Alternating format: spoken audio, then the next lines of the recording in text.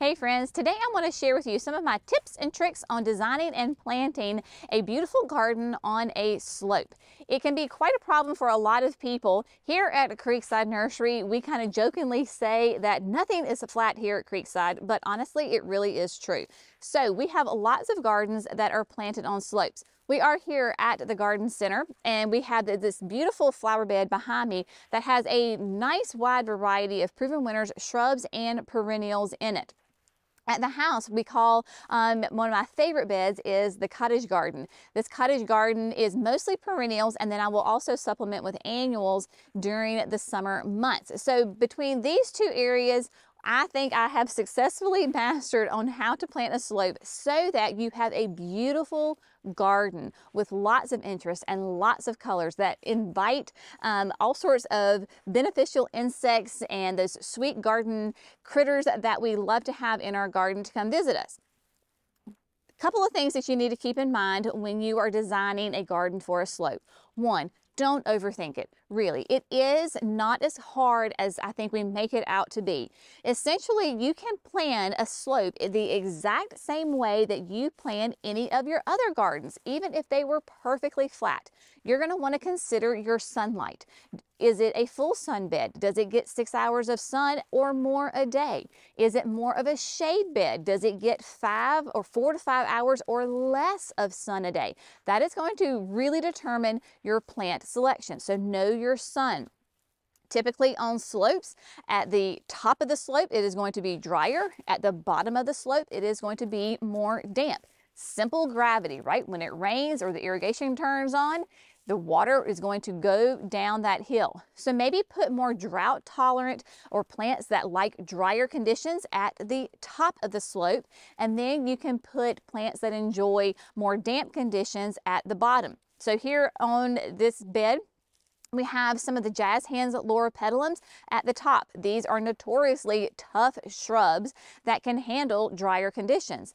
Down at the bottom, I have Scentlandia. Scentlandia loves wet conditions. It loves those bog-like conditions and it will actually spread more quickly. And so that when you're looking at a slope, oftentimes that is a good thing because you've got lots of great extensive roots. Then what you're really going to think about is like your design when you're thinking of as far as like your height, right? Because we want to think about, we want to put, tend to want to put lower plants in the front and work our way up to taller plants in the back. When you have a slope, and it will depend on the angle of your slope, this is a pretty severe slope right here. You could have plants that are really the same mature height, and because they are on a slope, they're naturally going to look like they are different heights. So just like always, low things go on the front, tall things go on the back. But even if like all of your shrubs and perennials are in that three foot mark, because they are on an elevation slope, they're really gonna look like they are different heights. So just kind of keep that in mind. Don't overthink the height thing too much. Don't think, oh my gosh, I have all the plants are gonna be the exact same um, mature height. Not necessarily so because they are on this slope. Also, thinking wide, right? Plants that go out that takes up more room. That means less weeding for you and less mulch. Abelias, we absolutely love abelias here in North Carolina. The Trace Amigos would be a great one to use here because it goes out and it takes up lots of great room.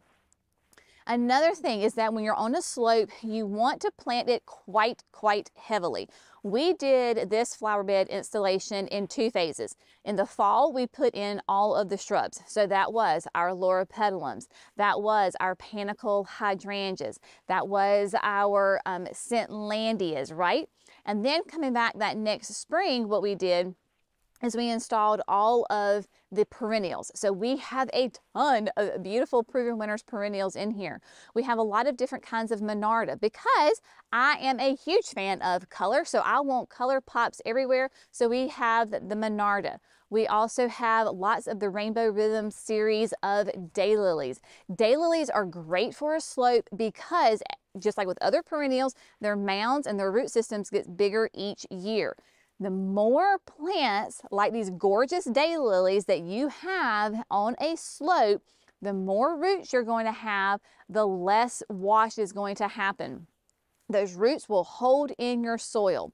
And then my final tip for you is when planting on a slope is choose a great high quality hardwood mulch that is not going to wash.